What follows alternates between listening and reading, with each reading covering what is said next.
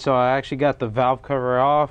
I had to do a lot of stuff, man. I had to remove this brake booster kind of it's kind of loose right here. So we had to move up this bracket right here that holds the fuse box in place.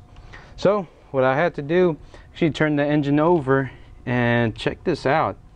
So like I said, this is the valve spring that's messed up. And uh, I turned the engine over so the lobes won't be uh, pressing down on the rocker. But look how loose this is. Look, I'm gonna push from the bottom and check this out. You shouldn't be able to do this. It just comes right out. So, shouldn't be that easy at all. Now what we're gonna do, I'm gonna go ahead and take this off and I can literally turn this valve so easy. Check this out can move it up and down. Alright, let's get to this. I got a special tool for this, and we're going to take this off.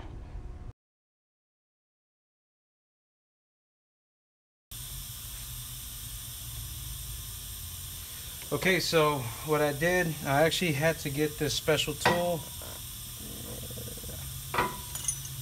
Special tool right here, and this is what released the actual valve spring. And check this out. So when we pulled this valve spring off, like I said, it was completely broken into two. So that's why we weren't getting compression on that cylinder. So right now what I'm gonna do, I'm gonna put this brand new valve spring that I got from the dealership. We're gonna put it on. I'm not gonna show the process of putting it on, but what I'm gonna do once we have this all on, I'm gonna go back to the to oscilloscope and we're gonna test it out and verify that we have a fix right here. All right, so I have everything back on. I have my amp clamp hooked on to uh, battery positive. I have my other uh, connection hooked up to uh, ignition one trigger. So right now what we're gonna do, we're gonna crank this over and let's check this out. Let's see what we got.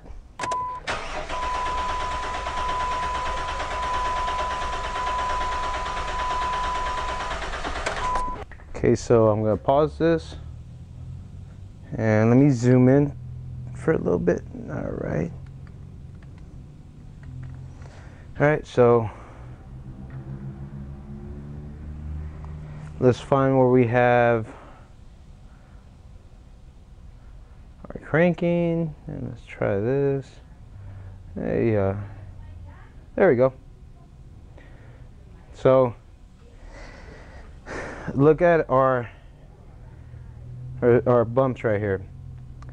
So as you can see, here's one trigger, there's another trigger, so we can count between here, one, two, three, four, five, six.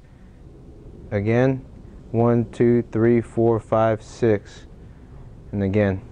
So as you can see, I'm gonna see if I can put another picture down low so you can see the, the difference from what this is to the other one.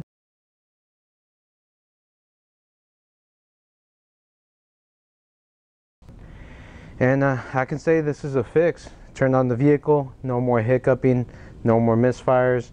It uh, actually sounds a lot better. So there you go. This is just gonna be, like I said, a messed up valve spring. And here you go.